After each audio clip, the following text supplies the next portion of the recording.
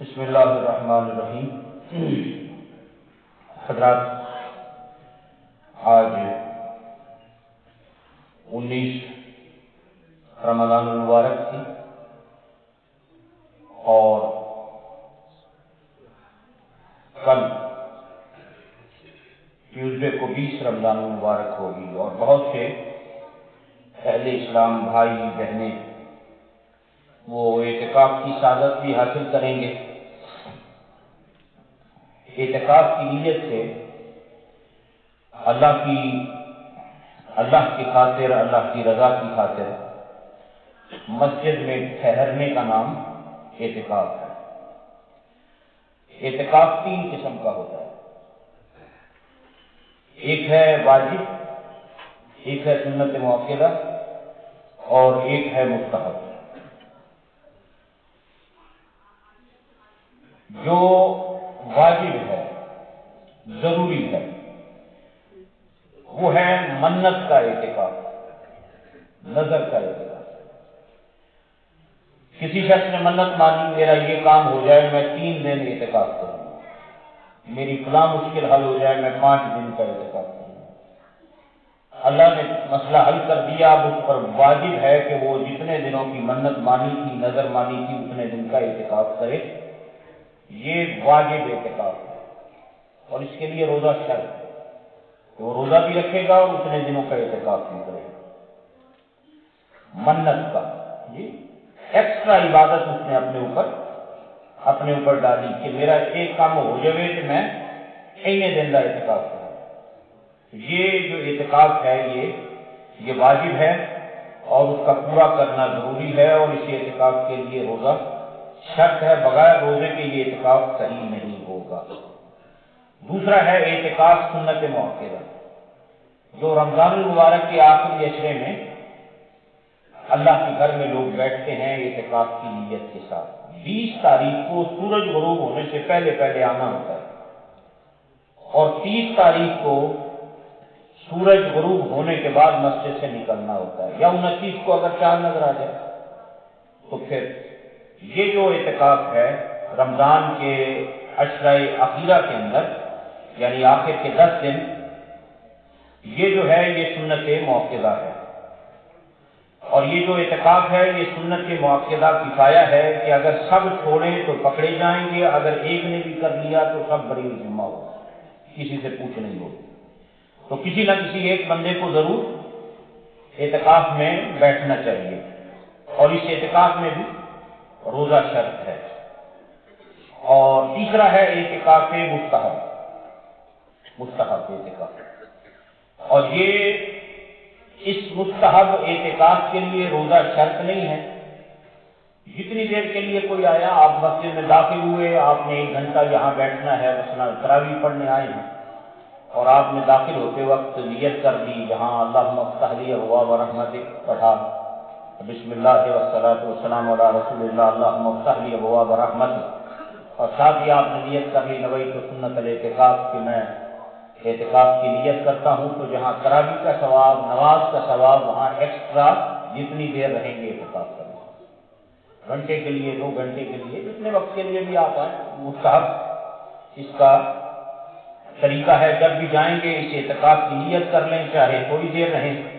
जब वापस चला जाएगा तो वो एहतिकाफ उसका खत्म हो जाएगा। मर्द के लिए एहतिकाफ मस्जिद में, औरत के लिए घर में वो जगह जो उसने नमाज़ के लिए मखसूस की होती वहाँ वो एहतिकाफ बैठे। और हमारी अक्सर माएँ बहनें घरों में जो बैठती हैं, वो जो नमाज़ के लिए जगह मुकर की हो तो वहाँ पर वो और एहतिकाफ करने वाले को बगैर किसी उजर के मस्जिद से निकलना हराम है। अगर निकलेगा बाहर, एहतिकाफ खत्म हो जाएगा।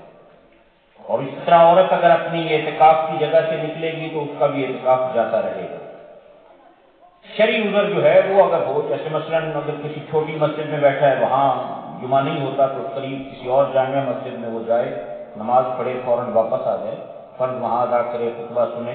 बाकी जो नवाफिल सुनते हैं अपने एहतिकाफ वाली जगह पर, आकर जो है वो वो वहाँ पर अदा कर दिया। तो कल बीस रमज़ान मुबारक है। मजीद जो खातन हजरात बैठ रहे हैं, जो यहाँ बैठना चाहते हैं, अगर किसी ने भाई कैसे साहब है, उनको बता दें, वो हजरात बैठना चाहते हैं कोई तो वो इंशाल्लाह उनके लिए इंतज़ाम जो हो जाएगा। उन्नीस रमज़ान मुबारक को एक अहम वाक़ ये भी हुआ कि चौथे खलीफा राशिद ताजदार हल्लता मौला मुर्तज़ा मुश्किल कुशा सैदना अली मुर्तज़ा, शेर खुदा करम करीम पर फजर की नमाज़ पढ़ाते हुए हमला हुआ था। इबन मुलजम ने नमाज़ फजर में आप पर वार किया। जहरीला खंजर था। उससे वार किया, आप नमाज़ पढ़ा रहे थे। खुद तो रब काबा रब काबा की कसम में कामयाब हो गया। आज भी मस्जिद गुफा के अंदर वो मेहराब पिछली दफ़ा जो साथी हमारे साथ गए थे, उन्होंने देखा। वो जगह आज भी महफूज है जहाँ आप पर हमला हुआ था। वो मेहराब उन्होंने महफूज की हुई है। साथ ही आपका घर है।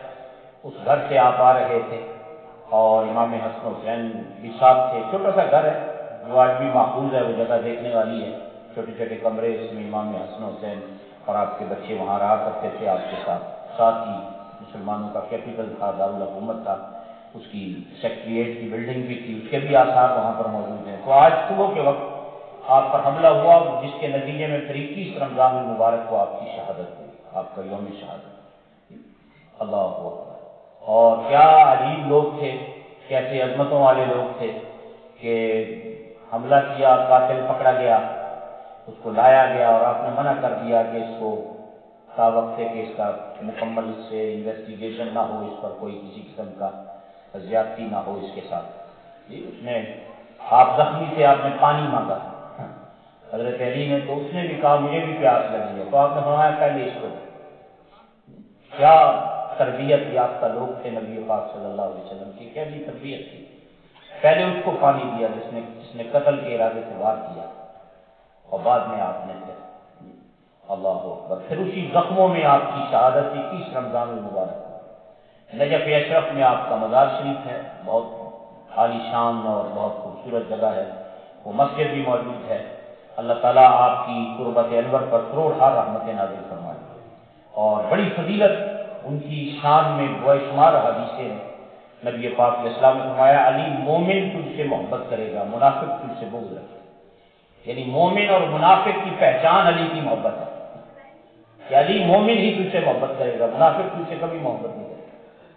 कितनी आला पहचान नबी पाक इस्लाम ने बताई है। इसलिए अल्हम्दुलिल्लाह, हर अहल ईमान के दिलों में उनकी मोहब्बत है। तो अल्लाह ताला अपने महबूब का सदका, जितने भी हमारे बहनें बड़े बुज़ुर्ग, जो भी एहतिकाफ बैठ रहे हैं, अल्लाह ताला सबकी नेकियों को कबूल फरमाए और सबकी इबादत को अपनी बारगाह में शर्फ कबूलियत अता फरमाए बच्चों